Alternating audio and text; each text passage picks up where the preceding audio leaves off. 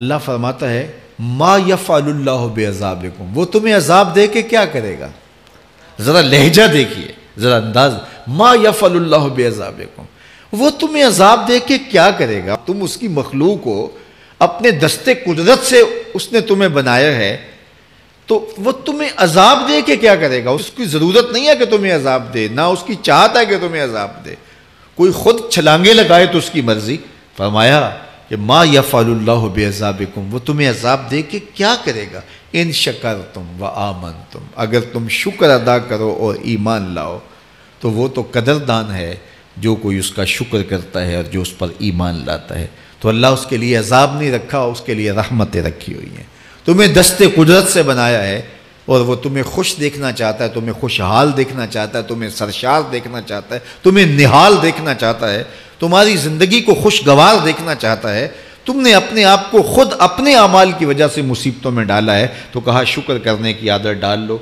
देखना फिर अल्लाह ताला जल्ला शाह की रहमतें तुम्हारे ऊपर किस तरह उतरती हैं, उसकी नवाजिशें तुम्हारे ऊपर कैसे बरसती हैं। तवक्ल अगर हम सीख जाएँ तो तवक्ल एक ऐसी दौलत है कि जो खुशहाल ज़िंदगी की ज़मानत बनती। जब हम अल्लाह पर तवक्ल नहीं करते और हम समझते हैं ये सब कुछ हमारी मेहनत का नतीजा ही होगा। और नतीजा जब नहीं आता तो फिर हम बेचैन, मुस्तरब हो जाते हैं।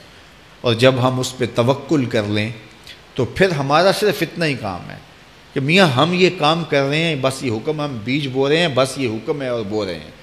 बाकी उस पर भरोसा है, ये काम उसका है कि उसने इसको उगाना है, उसके ऊपर फल लगाने हैं। तो जब उस पर तवक्ल हो जाए तो बंदा सौखा रहता है, वरना बंदा मुश्किल में मुबतला हो जाता है। बसाओ का ऐसा होता है कि बंदा एक मंसूबा तैयार करता है, उसका अमली नतीजा उसको सामने नज़र आ रहा होता है, लेकिन नतीजा बिल्कुल उलट जाता है। सैयद नली मुर्तज़ा फरमाते हैं, मैंने अपने इरादों की शिकस्त से ही अपने रब को पहचाना है कि मैं एक मंसूबा तराशता हूँ कि ये ये ये और यूँ होगा और वो होना चाहिए, लेकिन नतीजा वो नहीं आता। तो कोई ताकत है उसका जो नतीजा बदल देती है। तो बंदा उस ताकत पे यकीन करते, उस पर तवक्ल करके जो है वो उस पर भरोसा कर ले तो ज़िंदगी सौखी हो जाती है। मगरब में जो अल्लाह पर यकीन नहीं रखते, वो खुदकुशी कर लेते हैं कि ये क्यों हो गया। ऐसा नहीं होना चाहिए था, लेकिन हम खुदकुशी इसलिए नहीं करते, हम कहते हैं, मेरा रब जिस तरह चाहे, उस तरह ही होता है। जो उसने तय किया हुआ है, वो करके रहता है। इसलिए तुम उस पर तवक्ल कर लो और उस पर भरोसा करो। हजूर असलाम ने फरमाया लो अन्ना कुम तवक्लून हक का तवक्ल ही अल्लाह पर तवक्ल करने का जो हक है, अगर तुम वो अदा कर दे। तो फरमाया, अल्लाह तुम्हें ऐसे रिस्क अता करे जैसे परिंदों को अता करता है। हमारा तो कारोबार है, ये फैक्ट्री है, ये दुकान है, ये हमारी नौकरी है। हमने यहाँ से कमाई करनी है। परिंदों का कोई कारोबार नहीं होता, कोई नौकरी नहीं होती, कोई ठिया, कोई अड्डा नहीं होता, जहाँ जाके उन्होंने रिस्क के लिए कोई आगाज़ करना होता है। बल्कि हजूर ने फरमाया, तगदु खमासन व तरु हो बेतानन। जब वो सुबह घर से निकलते हैं तो खाली पेट निकलते हैं। और उन्हें कोई अपनी मंजिल का तयन नहीं होता, जिधर ख्याल आया उड़ गए उधर। लेकिन कभी ऐसा नहीं हुआ कि शाम को खाली पेट वापस आए हों। कहा, वो पेट भर के आते हैं। बाहू बोले बन तवक्ल पंछी उड़ दे, खर्च ना पल्ले जेरा हो।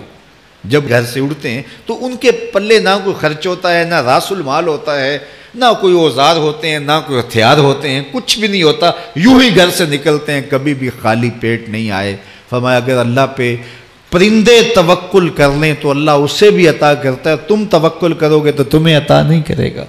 तो तुम्हारी ज़िंदगी सौखी होगी। घर से निकलो, काम के लिए, फैक्ट्री के लिए, मजदूरी के लिए।